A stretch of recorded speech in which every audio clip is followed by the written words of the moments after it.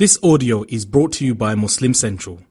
Please consider donating to help cover our running costs and future projects by visiting www.muslimcentral.com forward slash donate.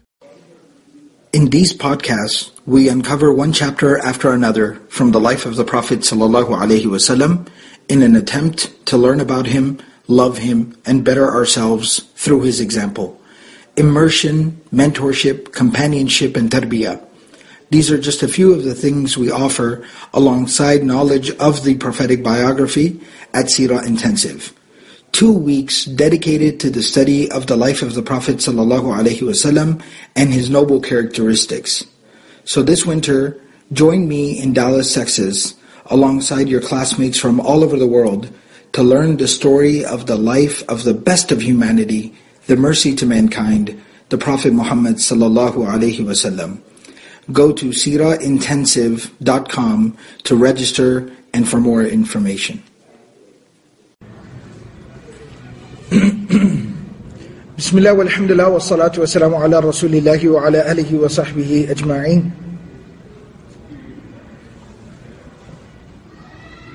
Inshallah, uh, as a part of our uh, regular series on the life of the Prophet sallallahu alaihi wasallam, Asirat Nabawiyah, uh, the prophetic biography, uh, keeping in mind that we are at the end of the month of Rajab, um, at the request of uh, you know the brothers, uh, inshallah, what we'll be discussing today is the journey of the Prophet sallallahu alaihi wasallam that is known as Al Isra wal Mi'raj.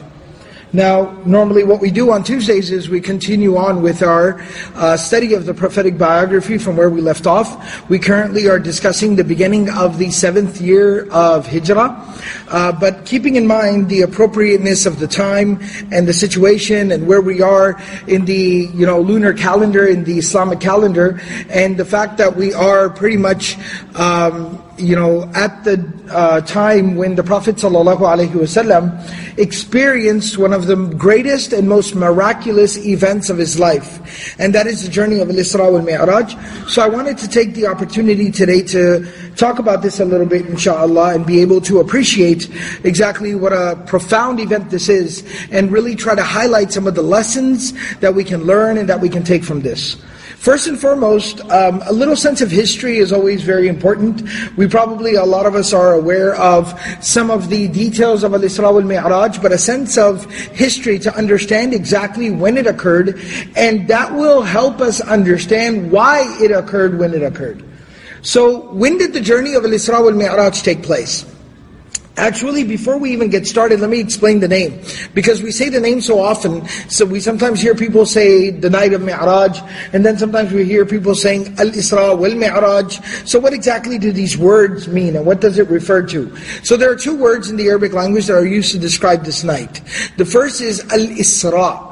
Al-Isra comes from the root, from the word in the Arabic language, which means to travel by night, to make journey by night. All right, and so that's the first word. Al-Isra means to travel by night. Al-Mi'raj comes from the root word which means to ascend, to move upwards. All right, it's used in the Quran in that particular meaning as well, in the meaning of ta'rujul malaikatu. Like the angels, they ascend. The angels, they go upwards. All right.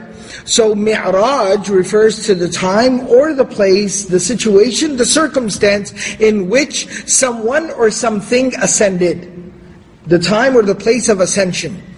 Now, the, that's what these two words mean linguistically. What they refer to is this journey or this great night from the life of the Prophet ﷺ can be divided into two portions, into two parts.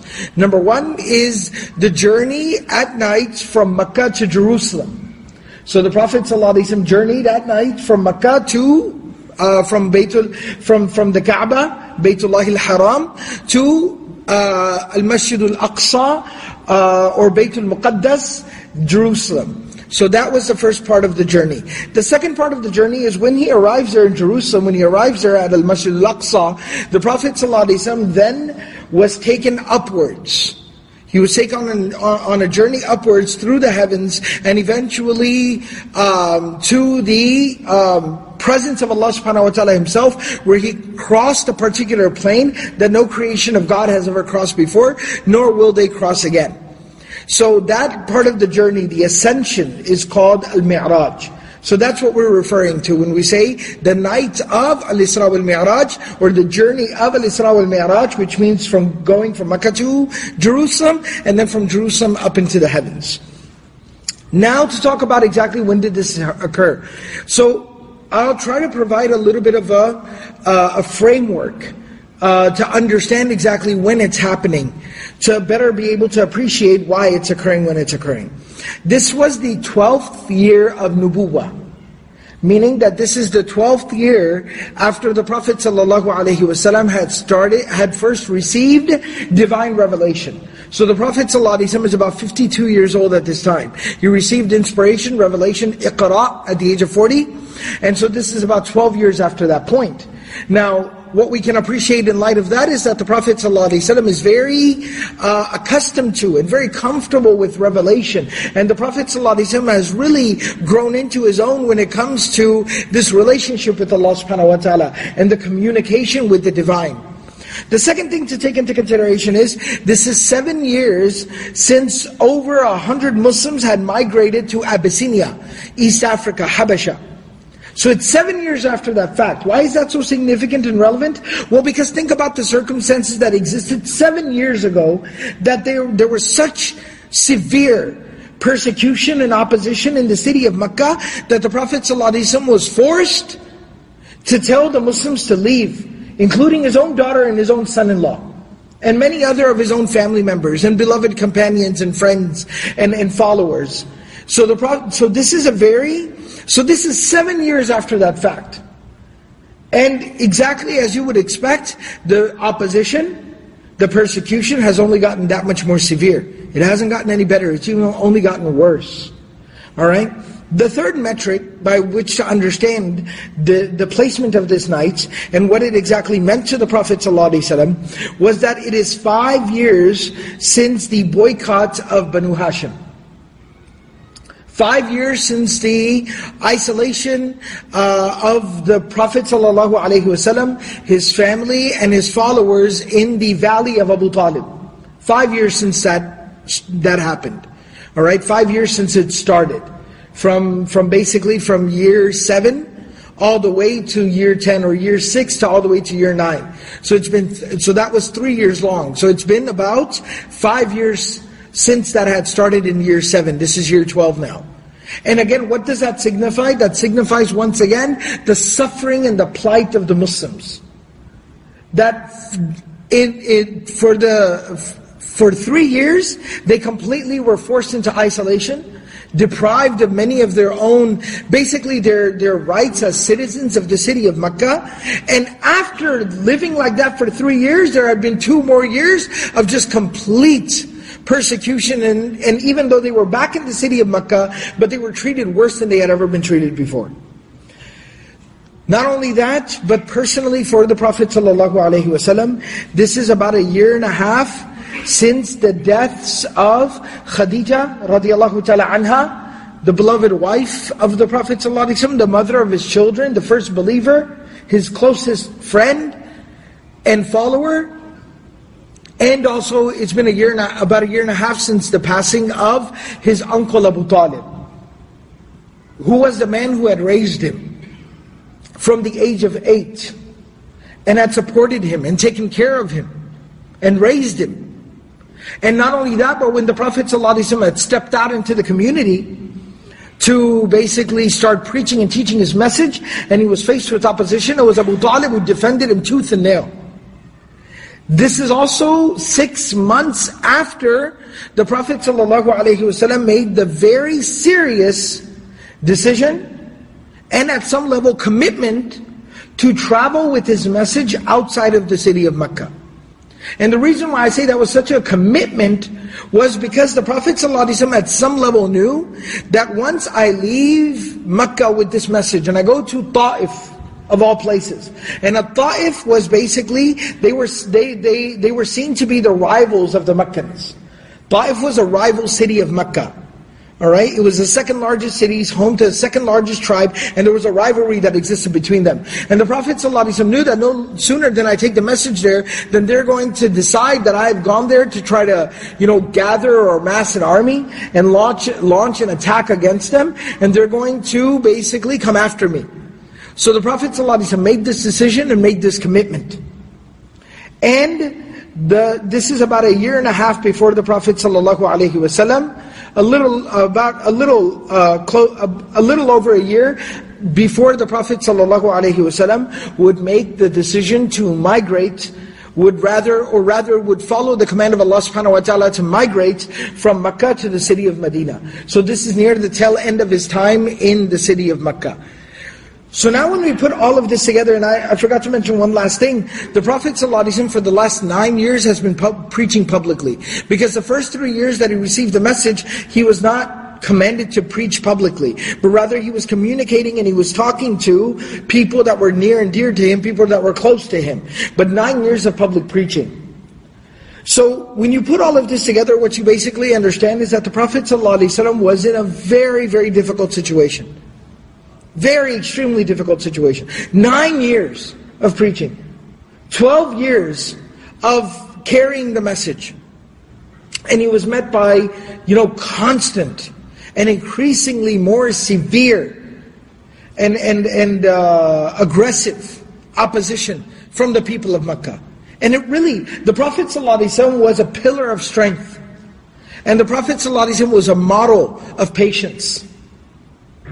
But the Prophet ﷺ, this was starting to take a toll on him. It was wearing and tearing on him. It was very extremely difficult.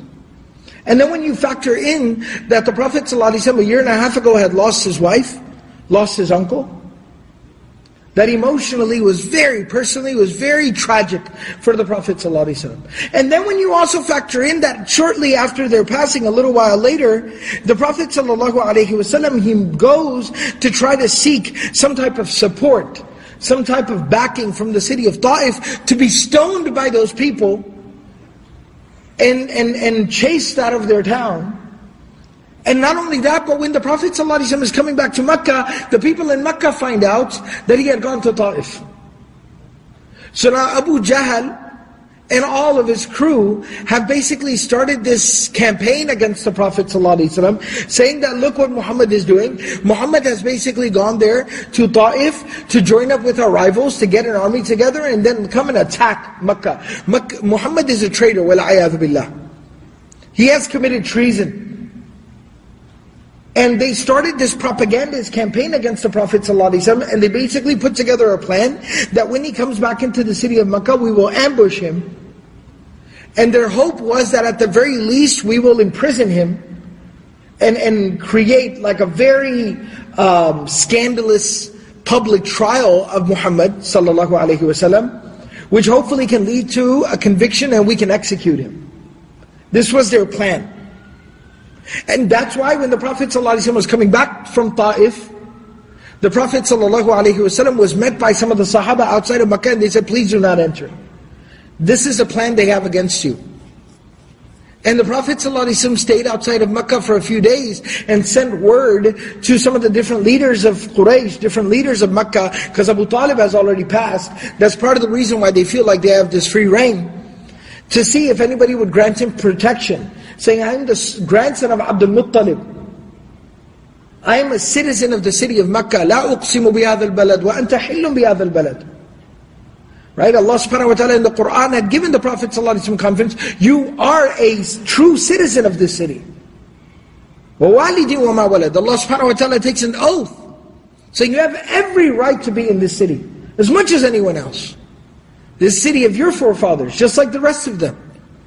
Right? So the Prophet ﷺ is trying to reach out to see if somebody would grant, grant him some you know, protection, sanctuary, safety, immunity. And multiple people rejected it until finally Mut'im bin Adi, who did not agree with the Prophet ﷺ, he was not a Muslim, he agreed to give the Prophet ﷺ protection, and then he came and he got the Prophet ﷺ and brought him back into the city of Mecca. And something very fascinating, it's a bit of trivia right? But it's important to know and it's very fascinating. The Prophet ﷺ, before he received revelation, he used to go to the cave of Hira, the cave of Hira. And he had gotten into the habit of going there even more and more frequently and spending more and more increasing amounts of time over there at the cave of Hira. To the point where he was, you, one could say that he very much longed for and desired and really enjoyed, you know, his time there in the cave of uh, Hira. Jabal Nur, the mountain of Nur, the cave of Hira. Because it was a place of reflection and contemplation and quietude and solitude and peace and serenity and tranquility for him. But ever since he received revelation, did the Prophet ﷺ ever go back to the cave of Hira? Never did. And we talk about it often because part of the purpose of the divine revelation and the message was that now it's time to take this to all of humanity.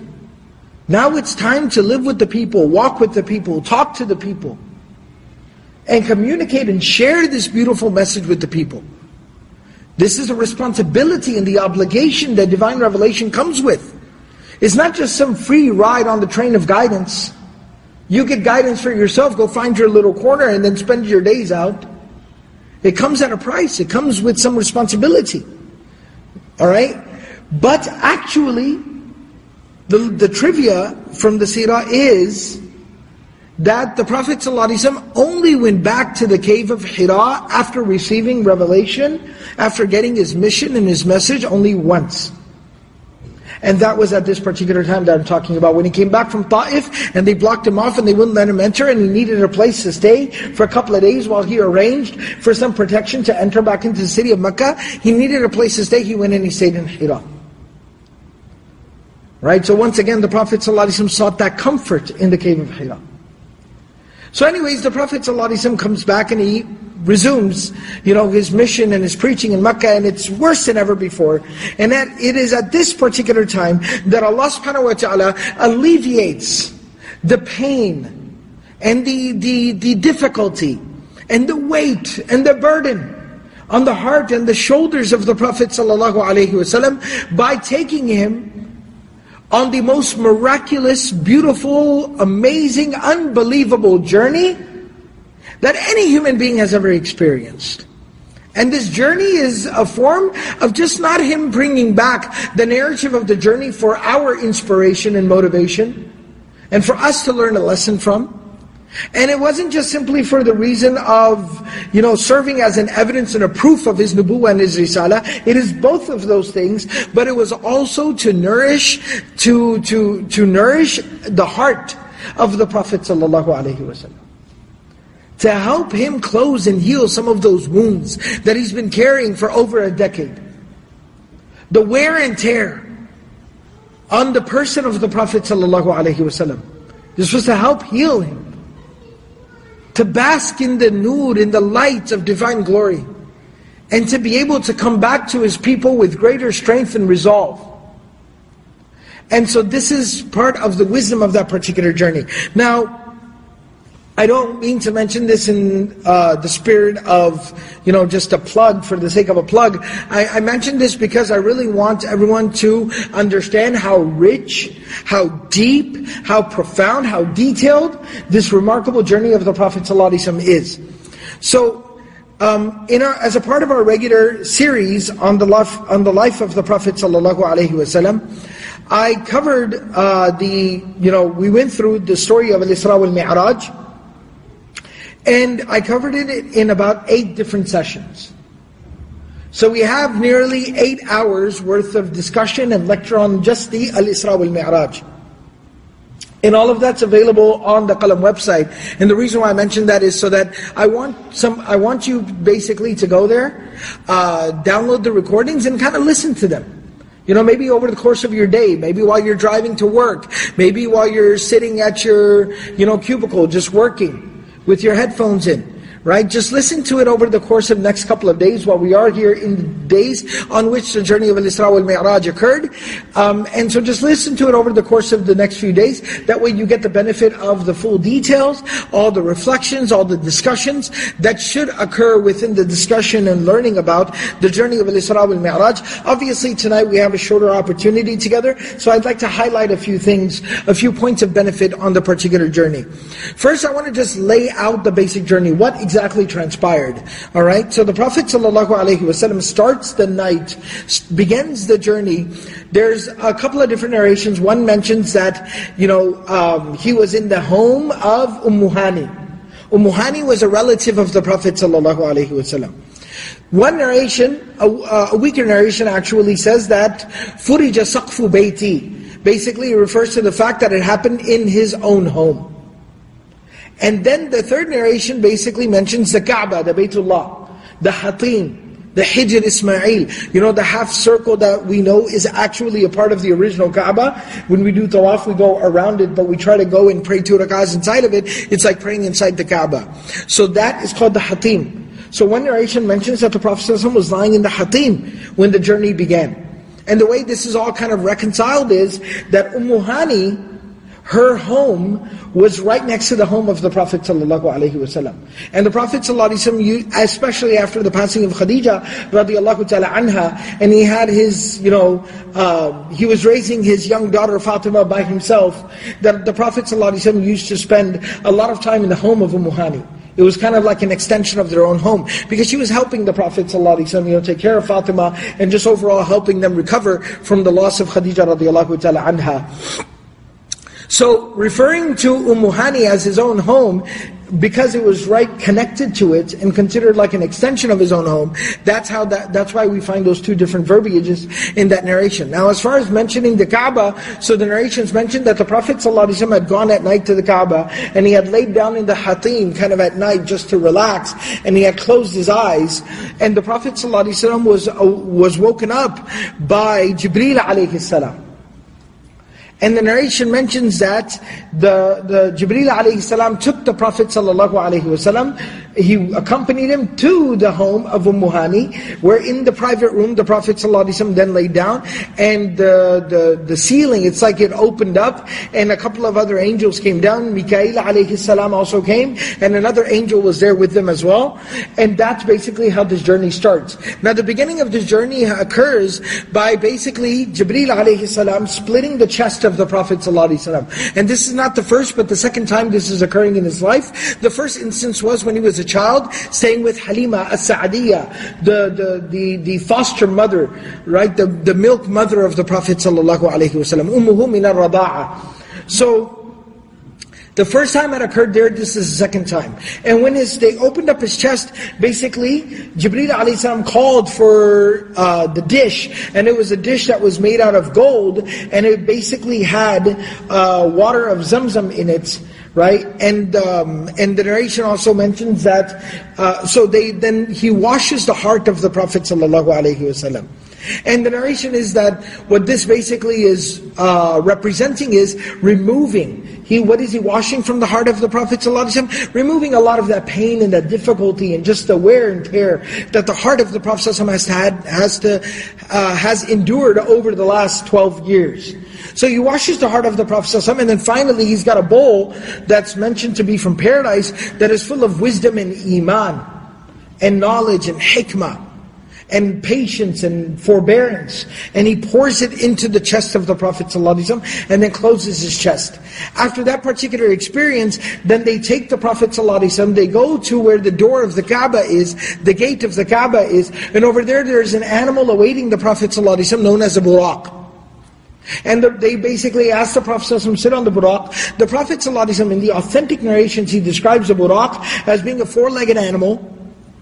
the Prophet ﷺ says it was white in color. And the third thing is that the Prophet ﷺ says that it's larger than a donkey. Thank you. That it's larger than a donkey, but it is smaller than a mule. Larger than a donkey, but smaller than a mule. All right, so that's kind of the description of the animal. There are some other really um, fascinating or interesting descriptions of this particular animal, that its head was like this, and its ears were like that, and its snout was in this manner, but all of those are very, very weak narration, so I'm not going to delve into those. So the Prophet ﷺ boards this animal and then they begin the journey and what's really fascinating is that the Prophet ﷺ says the very first step that the animal takes lands as far as the eye can see. It lands as far as the eye can see. Just it, it just like flashes forward. Alright? And the Prophet ﷺ says that the animal moves so fast that it basically, it's not like, it's even on the ground. It's practically like it's flying because it's moving with such speed that it's moving above the ground. Because the Prophet ﷺ says that when we passed over an incline or a decline, it almost felt like its legs would get shorter and then would get longer.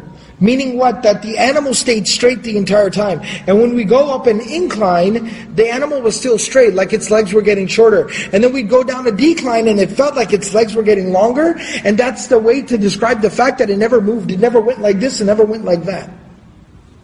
But it was moving so fast that it was just flying over everything. And it moves at this type of speed. And the Prophet ﷺ says Jibreel is flying by his right and Mikael is flying by his left. And that makes you understand the buraq is beyond our, it's so fast it's beyond our comprehension. But keep in mind that Jibreel and Mikael are keeping up. So how fast must they also be? Right? So this is just astounding on multiple levels. And the whole objective of us really marveling at this creation of Allah subhanahu wa ta'ala, like the angels, like the buraq, is to think about the creator who created them. How magnificent is that creator? And how powerful is that creator? And how unlimited is his power? That these are his creation and, and as big and as powerful, like at Sidratul Muntaha, which is, I'm jumping forward a little bit, but because I'm on the topic, the Prophet ﷺ describes seeing Jibreel in his true form, saying that his head is in the sky, his feet are on the ground, and he's got 600 wings, and when he opens two of them, then it covers the entire horizon, from east to west, and he got 600 of these wings. And he moves at the speed of light. But the, but the Prophet ﷺ says that when he comes before Allah subhanahu wa ta'ala at the place of a Sidratul Muntaha, the Prophet ﷺ describes that due to the humility and the fear of Allah subhanahu wa ta'ala and the humility in front of Allah, Jibreel was like a torn up wet piece of cloth. Think of a rag. You know the rag that you kind of wipe your counter with?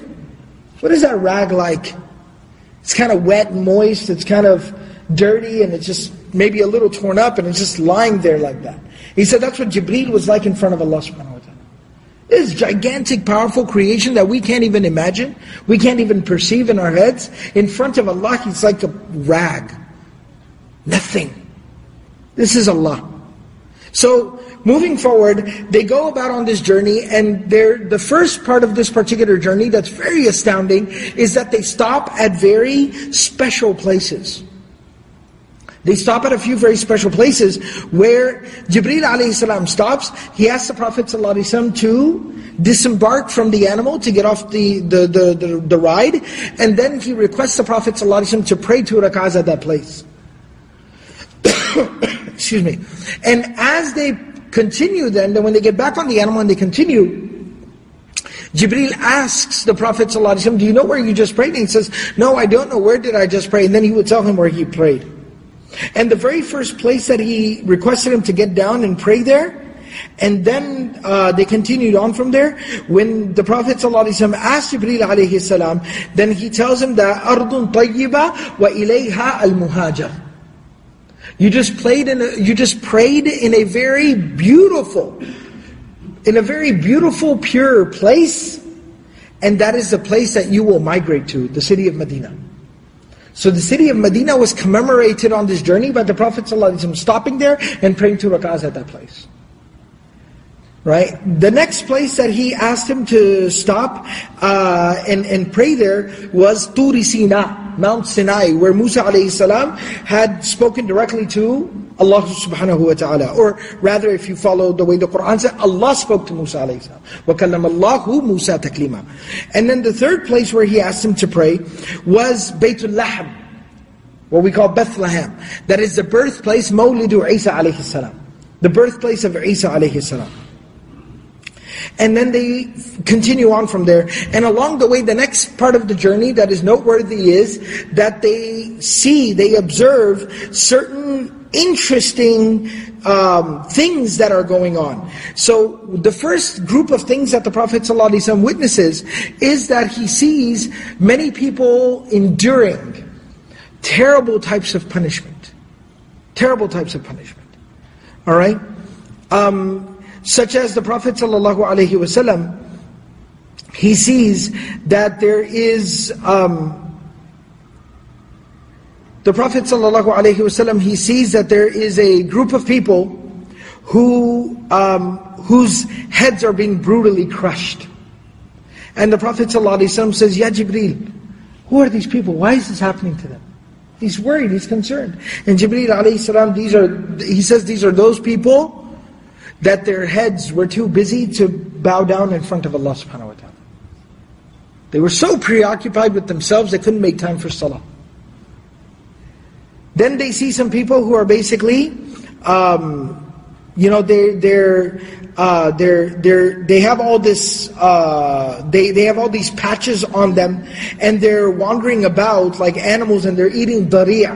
Daria is this terrible thorny plant that's mentioned in Surah Al-Ghashiyah, Surah number eighty-eight, and it's a it's a food of the fire of hell. And it's said in the narrations that the thing, you know how like plants or vegetation grows from water. What grows this vegetation or this plant of hell is the fire itself, and they're eating this. And it's just completely like tearing them apart. They're also eating zakum, which basically means that uh, zakum, the zakum literally means to violently vomit. And when they eat, then all their insides come out. And the Prophet ﷺ, again, very concerned, he says, who are these people? Why is this happening to them? And he says, these are the people who Allah had given a lot of wealth to and they did not use to give their zakat. They didn't give zakat. They didn't care about giving zakat. Then he sees another group of people who there's some very nice, good food sitting in front of them, and then there's some really rotten, spoiled, you know, worm, maggot infested, you know, food.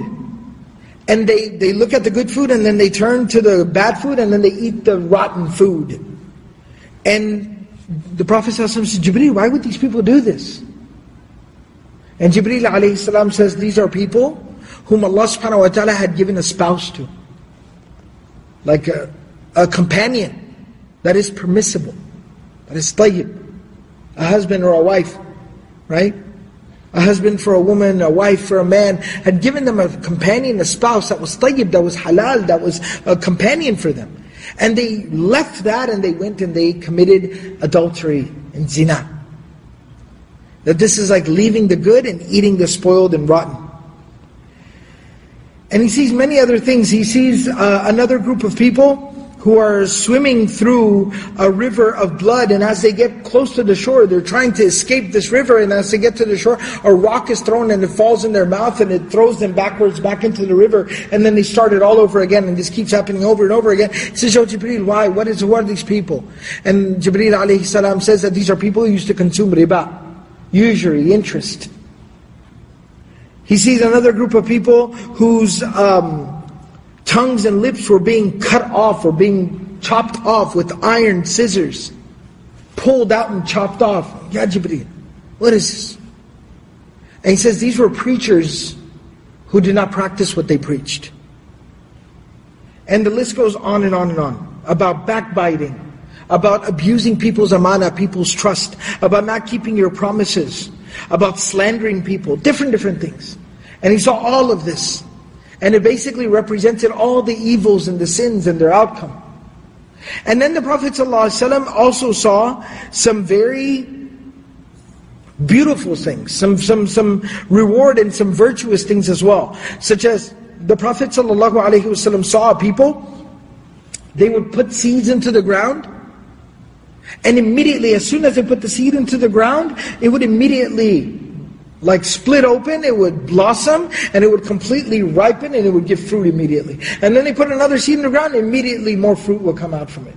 Like it was instantaneous, they were getting the fruits of their labor. And he said, Jibreel, who are these amazing people?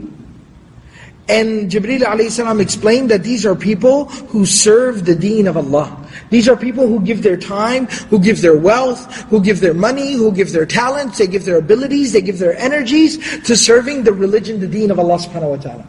That Allah subhanahu wa ta'ala multiplies their reward for them. That instantaneous are the results of their efforts. Allah subhanahu wa ta'ala multiplies their reward for them. And he saw, he went to, and they went on forward and he said that um, he, there was a beautiful, fragrant and beautiful cool breeze that was blowing. And the Prophet ﷺ says it's unlike anything he had ever experienced. And he says, Jibreel, mahada, what is this? And jibril alayhi salam said that this is the scent coming from the woman who used to comb the hair of the daughter of Fir'aun. And it is the fragrance that comes from the children and the family of that woman. And then Jibreel alayhi tells the Prophet ﷺ that story. And he says that there was a woman who used to brush the hair of the daughter of Fir'aun. And one day while she was brushing it, the brush kind of fell out of her hand. And you know when the brush falls out of your hand, sometimes there's just a habit, you kind of say like, you know, um, أعوذ بالله من الشيطان الرجيم, like we would say or something. Right? So, kind of falls out of her hand and she says, Ta'isa Fir'aun. Right? Ta'isa Fir'aun. like may Fir'aun be cursed. And the daughter says, you curse my father? Right? You curse your Lord and your Master? She says that uh, your father is not my Lord and Master. And she says that, rather my Lord, and, and she says, you have another Master? She says, yes, my Master and your Master are both, that my and your, both of ours Master is one, and He is Allah subhanahu wa ta'ala. So she says, I'm going to tell my father what you said. And so what happens is Fir'aun calls for the woman and her husband and her two small boys. And he basically starts, um, you know, he, he orders like uh, a pit dug and pours it full of like oil. And then heat it, like on fire. And then he tells the woman that if you do not accept me, then I will kill your family in front of you. And at that time, the woman, she has her faith. She says, you can do whatever you want to me. But then killing her own children, babies in front of her. So as a mother, her heart just kind of tightens a little. And Jibreel tells the Prophet ﷺ that one of the children was still like a nursing baby, like a small baby. And this was one of the children who spoke miraculously. And the child speaks up and says, Oh mother, do not hesitate and do not back away from the truth. Allah will reunite us in paradise. And Fir'aun throws the whole family into the pit and kills all of them, but she does not forsake her iman. And uh, the Jibreel tells the Prophet ﷺ that the place where Fir'aun did this terrible act, this is the fragrance that emanates from that place. Right? To commemorate, to commemorate their sacrifice. So in this way, the Prophet ﷺ also sees some very amazing, remarkable things. Re- Continuing on, the next part of the journey is that Jibreel alayhi and the Prophet ﷺ, they arrive at Al-Masjid al-Aqsa. When they arrive there, they basically proceed into the masjid and the Prophet ﷺ is met there by all the prophets and the messengers who were sent throughout time. They're all gathered together for the Prophet ﷺ. Now there's a lot of discussion, again I go into that in the more detailed lectures about were they physically there, were there the souls that were there, and you can listen to it over there. Regardless of the fact, those, those are details that honestly we're not even very privy to, and that ultimately don't really serve any purpose. The real thing that we need to know is that Allah subhanahu wa ta'ala congregated all the prophets to honor our messenger Muhammad sallallahu and to give confidence to our Prophet sallallahu so he could meet his brothers, so he could meet the people who had made the sacrifices that he was being asked to make before him. That he knew that he belonged to a fraternity and a group and a brotherhood of prophets. Right? And they were gathered there together and then the Prophet ﷺ was made to lead all of them in prayer. And the Prophet ﷺ led, led them in prayer and that is the marking of Sayyidul Mursaleen, Imam al-Anbiya wal Mursaleen. That he is the leader and the Imam of all the prophets and the messengers. Alayhimus salatu wassalam. And in fact, it goes on to basically mention that even after the prayer was done, then some of the prophets that were there at that gathering, they address the gathering and they basically talk about, you know, some of the blessings Allah bestowed upon them. And then the Prophet ﷺ, he speaks last and finally amongst them. And it's some very beautiful and powerful words that the Prophet ﷺ mentions at that particular time. Where the Prophet ﷺ says, um, كُلُّكُمْ أَثْنَى عَلَى رَبِّهِ وَإِنِّي مُثْنٍ عَلَى رَبِّي All of you have praised um, you know, your Lord and Master and allow me to now praise and glorify my Master Allah subhanahu wa ta'ala. Alhamdulillah alladhi arsalani rahmatan lil alameen wa kafatan lil nasi bashiran wa nadhira. The ultimate praise is for Allah subhanahu wa ta'ala who sent me as a mercy to all of humanity and mankind and sent me as a bringer of good news and warning to all of humanity. وَأَنزَلَ عَلَيَّ الْفُرْقَانَ فِيهِ تِبْيَانُ كُلِّ شَيْءٍ And sent down upon me the clear delineator of truth from falsehood, of right from wrong. In it is the clarification of all things. وَجَعَلَ أُمَّتِي وَجَعَلَ أُمَّتِي خَيْرَ أُمَّةٍ أُخْرِجَتْ لِلنَّاسِ And He made my ummah, my followers, the best of all of humanity. وَجَعَلَ أُمَّتِي وَسَطًا And He made my ummah a very balanced people. وَجَعَلَ أُمَّتِي هُمُ الْأَوَّلُونَ وَالْآخِرُونَ And He آخِرُون And He made my ummah the first to enter paradise even though the last that they came into this world. وَشَرَحَ لِي صَدَرِي He expanded and opened my chest. وَوَضَعَ عَنِّي وِزْرِي He removed my burdens from me. وَرَفَعَ لِي ذِكْرِي He elevated my mention. وَجَعَلَنِي فَاتِحًا وَخَاتِمًا He made me both the opening and the seal. That He made me the opening and the seal, the opening of, you know, the resurrection on the day of judgment. And He also made me the seal of all the prophets, the finality of all the prophets that will come into this world. And Ibrahim a.s., after the Prophet is done with this address, he says, بِهَذَا فَضَلَكُمْ Muhammad sallallahu alayhi wasallam. So you see, this is why Muhammad has virtue over all of you. Listen to him. Right? And so it's a remarkable moment of honoring our Prophet sallallahu alayhi wasallam. From that moment forward, the next part of the journey is of course they ascend through the heavens. And basically I will somewhat summarize this, but that's why I've given you a reference where you can go and listen to more detail. But they come upon each of the seven heavens. And as they approach each and every single heaven, there is like an entire like procession, there is a welcome party that is awaiting at the gates. And Jibril alayhi salam, he kind of knocks at the gate and requests entrance. And he's asked, who is this? And he says, this is Jibreel. And he says, anyone with you? He says, Muhammad sallallahu alayhi. Then the angel, the gatekeeper of the heaven asks, is it now the time? Has the time arrived? Which tells you this is something that has been anticipated for a very long time. Preparations have been made. All the inhabitants of the heavens. Later on, some of the angels even say that this is a day, this is a moment we have all waited for for so long, where we get to see and meet the beloved of Allah subhanahu wa ta'ala, Muhammad sallallahu alayhi wa And he says, yes, the time has come. And then the gates are open and there's angels lined up. And as the Prophet comes through there, they're welcoming him. Marhaban. Ahlan, ahlan, marhaban bir Rasul. Welcome, welcome to the messenger. Bin Nabi Salih. The pious, righteous prophet of God.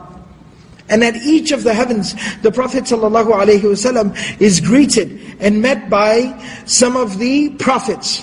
Different prophets at each of uh, the gates of the heavens at the very first uh, sky, at the very first heaven, the Prophet ﷺ is met by Adam alayhi salam.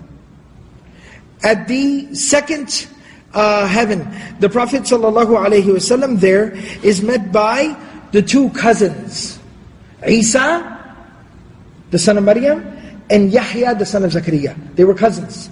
Their mothers, Maryam and Yahya's mother, were sisters. So they were cousins, and they were both prophets. So he's met and greeted by them, and they both welcome him. Marhaban bil akhis salih wa nabi salih. And they make dua for the Prophet ﷺ and they greet him. Then he goes to the third heaven. And there the Prophet ﷺ is met by Yusuf alayhi salam. And the same, you know, um, basically, you know, interaction occurs. Then the fourth heaven, where the Prophet ﷺ is met by Harun alayhi salam. Or excuse me, he's met by Idris alayhi salam. Then he goes to the fifth heaven. And at the fifth heaven he is met by Harun alayhi salam. At the sixth heaven he is met by Musa alayhi salam. And then finally at the seventh heaven, the Prophet sallallahu alayhi wasallam is met by his forefather, the namesake of his child who would be born later, Ibrahim alayhi salam. About whom the Quran says, Millata abikum Ibrahim. This is a legacy of your forefather Abraham. The Prophet ﷺ was asked to we perform, the sacrifice that we conduct. And the Prophet ﷺ said, Sunnatu abikum Ibrahim. That this is the tradition of your forefather Abraham. Ibrahim alayhi salam. And then finally they proceed on forward until they reach a point that is known as a Sidratul Muntaha, the furthest reach of the creation. Where Jibreel alayhi salam, and the Prophet describes it as there being this tree there, and it being absolutely beautiful, and there being streams and rivers that are flowing out from there. And, and just being absolutely breathtaking. And Jibreel alayhi salam stopping there and saying that I cannot proceed any forward. If I step forward, I will perish, I will die. I will cease to exist, I will incinerate. From the greatness and the sheer glory of Allah subhanahu wa ta'ala's presence. So I cannot proceed forward. But you are to proceed forward. Jibreel, the greatest of Allah's creation, says no. Because you are more virtuous than me. You are more beloved to Allah than me. So proceed. And that's where the Prophet ﷺ falls into sujood and prostration. And basically, there kind of an enclosure closes around the Prophet ﷺ. And then what happens past that point? Allah subhanahu wa ta'ala summarizes his best. Right? Even the Sahaba would discuss it. Aisha radiallahu ta'ala anha and Abdullah bin Abbas radiallahu ta'ala anhuma would have many conversations about exactly what transpired here. But ultimately we summarize, the Quran summarizes it in saying, ثُمَّ دَنَا فَتَدَلَّى فَكَانَ قَابَ قَوْسَيْنِ أَوْ أَدْنَى that then he drew near to, the, to Allah subhanahu wa ta'ala and he was brought even closer to the point where he was the length of two bows, you know, like a bow and arrow, bow, the length of two bows away from Allah subhanahu wa ta'ala or even closer. And it's the Qur'an's way of basically saying that was a private moment between Allah and His beloved. And all you need to know is that he was with Allah subhanahu wa ta'ala. But that moment was meant for them. It's a private moment between them. And in that in its, is its own significance and beauty. I know that our own fascination and curiosity and spirituality wants to know more. But there's also something very beautiful. And this is, this is, I'm going to talk about this in just a second, that the intimacy and the privacy and the secrecy, if you will, of that moment, there's something profoundly beautiful about it. And it's very beneficial, something we learn a lesson from. So now the Prophet ﷺ returns back from there, and this is where Allah subhanahu wa ta'ala grants the Prophet ﷺ many gifts.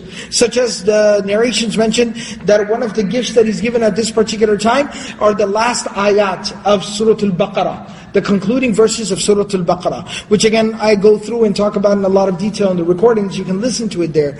Um, but those ayat, you can look them up, ayahs 284, 285, 286 right? The last three ayat of Surah Al-Baqarah, read them inshallah for yourself and memorize them. The Prophet ﷺ said they are very virtuous, they are very blessed, they were a gift on the night of the Isra wal Mi'raj. Read their translation, reflect on them, think about them, memorize them and read them in your prayers.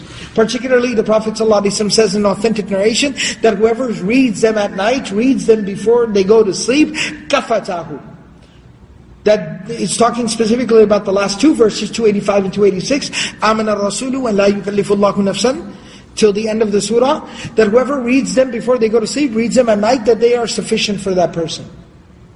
Meaning this is enough of a blessing of Allah subhanahu wa ta'ala. This is the way you conclude your night. Not watching television, not scrolling through your phone, not you know checking your Facebook feed, but the way you conclude your night is Amana Rasulu, La yukallifullahu nafsan illa wus'aha. Read these ayat before you go to sleep, the Prophet said. So anyways, this is a gift that's given. Of course, the most profound and remarkable gift that's given to the Prophet ﷺ on this particular night is the five times daily prayer. Now we all know the story that is narrated that initially the prayer was 50 times. And the Prophet ﷺ brings it. And as he's returning back, And he comes upon the sixth heaven, and Musa alayhi salam, he asks the Prophet ﷺ, what did you find? What did Allah give you? And he says 50 prayers in a day. And he says that, I experienced my people. And my people had more physical strength and, and you know time and years and endurance than your people do. And even they were not able to keep up with two prayers. Where he, in the more authentic narration, he says much less than that. But some of the narration mentioned that he's talking about two prayers. So he says, go and ask for ease and facilitation from Allah subhanahu wa ta'ala. فَلْيُخَفِّفْ عَنْكَ رَبُّكَ So the Prophet ﷺ goes back and he does sujood, prostrates before Allah subhanahu wa ta'ala and requests that please, فَلْخَفِّفْ عَنَّا Oh Allah, please lighten our burden and load. On our behalf, the Prophet ﷺ is asking. He could have handled 50 prayers. He's worried about us. And Allah subhanahu wa ta'ala decreased, excuse me, decreases five. Then he comes back. Musa alayhi salam says, no, no, no, too much. And he goes back and he requests 5, 40, and then keeps coming down to 35, 30, 25, 20, 15, 10, 5 comes down. Musa salam still says, this is too much, and he says, now I can't go back. That's it. I've asked enough. And there's a lot of discussions here about why. Why was it not all at once, all in one shot made? But this shows, this is an elaborate scenario set up by Allah subhanahu wa ta'ala to show how much the Prophet loved us and cared about us. What lengths he was willing to go to.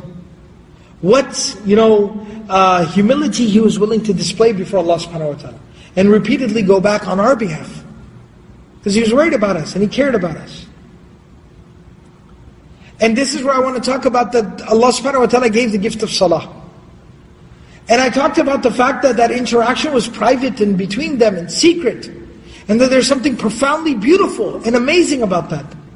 And that basically now reminds you of what the Prophet ﷺ says, As-salatu mi'raj al-mu'min, that it is the ascension of each and every single believer. And that's why our salah, we, we have the most private, secret moments. Yes, we come and we pray in jama'ah in the masjid.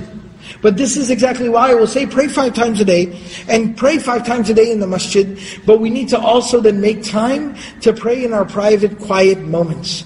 Wake up in the middle of the night and pray when nobody else is awake or uh, and everyone else is asleep.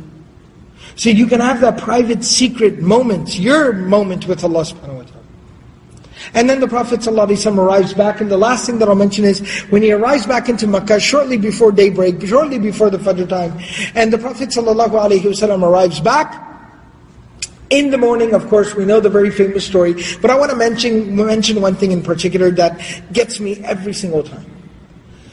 in the morning, the Prophet ﷺ, he runs into Abu Jahl, or rather, the Prophet ﷺ is telling some people in Abu Jahl over here. He says, what are you talking about? What happened? And he tells him, this is what happened. Abu Jahl's like, really?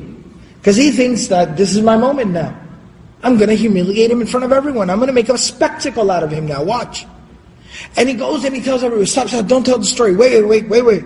Everybody listen, listen what Muhammad has to say. Come on, come on in, come on in.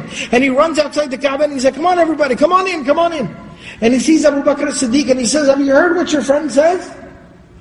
And Abu Bakr radiallahu ta'ala says, what are you talking about? And he says, your buddy says, you know, he went to Jerusalem at night and went above the seven heavens and yada yada, etc. And Abu Bakr radiallahu ta'ala anhu, he says, in pure, like just, only Abu Bakr could have said this, you know, this perfectly. He says, if in fact he does say that, then I have absolutely no doubt that he did do that and say that. And so they come inside and they start telling the story, and there's a couple of narrations. One, so the, the narration mentions that they asked the Prophet ﷺ, so when he says that he went to Jerusalem, they say, stop. There are some people here who have been to Masjid Aqsa before. We have some travelers amongst us. So describe Masjid Aqsa to us. And the Prophet ﷺ says, I was there for very little and it was nighttime. They're like, oh yeah, well of course, how convenient. And then Jibreel alayhi salam comes down. And the narration says that he takes his wing. And onto his wing is projected the Masjid Aqsa, and Jibreel alayhi salam starts to point to things in Masjid Aqsa. And the Prophet alayhi ﷺ, the narration says it's like he was looking at something.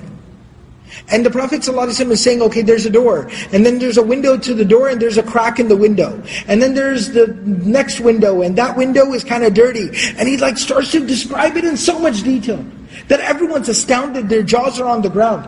And as the Prophet ﷺ mentions each and every single little detail, there's a door here, there's a crack here, there's a window there. Every time he mentions detail, Abu Bakr as-Siddiq is sitting there and he's saying, Sadaqt, Sadaqt, Sadaqt. You speak the truth. You speak the truth. Absolutely. No doubt. No doubt. Absolutely. Absolutely. Yes, for sure. No doubt. He keeps saying that. And the Prophet ﷺ, when he's done, he said, Anta Siddiq. You are the truthful one. You know what it means to believe. This is what belief in faith and iman is. Right? That's the day Abu Bakr radiallahu anhu earned the title from the tongue, from the lips of the Prophet ﷺ, as-Siddiq, as-Siddiq al-Akbar. The most truthful uh, believer of this entire ummah. And the Prophet gives all these details. And lastly and finally, some more things the Prophet ﷺ mentions as a sign is that I saw this caravan and I saw this and I saw that. And one of the caravans he mentions is there was a caravan that they had been awaiting that had some trouble on the way and they were late in returning back and all the Makkans were afraid because they were bringing a lot of the business goods, the investments. And they were starting to get really nervous. And the Prophet ﷺ says, and don't worry about their caravan, they're not too far, they, they had lost the camel, they found their camel, and the Prophet ﷺ said they should be arriving in Mecca by the end of today. They'll be here. And they were all like, really? We haven't heard any news. You sure? He's like, I'm sure.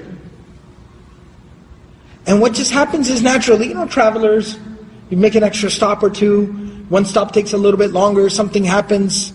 So they got a little bit delayed.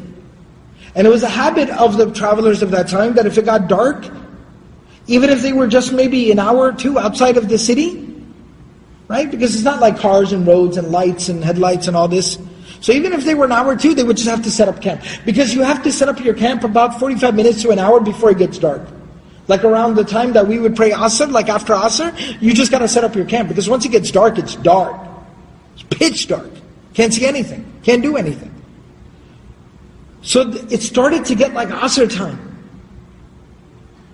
And the Prophet ﷺ started to worry. That if they don't make it in, these people are going to call me liars. These people will call me a liar. And so the Prophet ﷺ, hadith of Sahih Muslim, the Prophet ﷺ makes dua. That, oh Allah, you can hold back the sun. You can extend the day. And the hadith of Sahih Muslim says that the sun was never held back, the day was never extended for anyone besides Yusha bin Nun. Before the Prophet before, before the Prophet, except for Yusha bin Nun, who was a prophet from Banu Israel, who similarly, Allah subhanahu wa ta'ala had basically told him, if you launch an attack against this, these people, this army, you'll be victorious, um, but only in today's time. You have today's opportunity. And they fought and they fought and they fought and they were almost to the point of breaking through the army and the sun was about to set at which time they would have to retreat. And Yusha bin Nun made dua and he said, Oh Allah, extend the day. And the day was extended so they could achieve their victory. And so the Prophet ﷺ makes his dua. And the narration mentions that the day was stretched out, was made longer, to the point where people in Mecca started to get kind of worried, like, what's, this feels weird. They didn't have clocks and stuff, but there was a sense of time. Like when it gets around this time of the day, you got about another hour of daylight or something. And it's like three hours later and the sun still hasn't set and they started to get kind of nervous like, is, is the world about to end? What is going on? And the Prophet ﷺ was just in dhikr and dua. And lo and behold, that caravan arrives because arrives back into Makkah. And when they get into Makkah, the first thing they say is, we never thought we were going to make it in today because we thought the sun was going to set. But then it never went down, and so we said, let's keep riding, riding, riding, riding, riding, and here we are in Mecca. And the Prophet ﷺ praised Allah subhanahu wa ta'ala for honoring the Prophet ﷺ's word. That is the journey of Al-Isra wal-Mi'raj. Just in a summary, just some of the lessons. But, but the biggest lesson of all of it is that that Qur'an that was given on that night, that prayer that was provided on that night, that messenger that was honored on that night, that's something we all have access to. Read the Quran, and reflect on it. Pray and relish it, khushu'. And the Prophet ﷺ, learn his life. Send peace and salutations upon him. Honor his memory. And live your life according to how he lived his life. May Allah subhanahu wa ta'ala give us all the ability to practice everything that's been said and heard. Subhanallah bihamdihi, subhanakallah bihamdik, nashadu wa la ilaha illa anta nastaghfiruka wa natubu. Assalamu alaikum.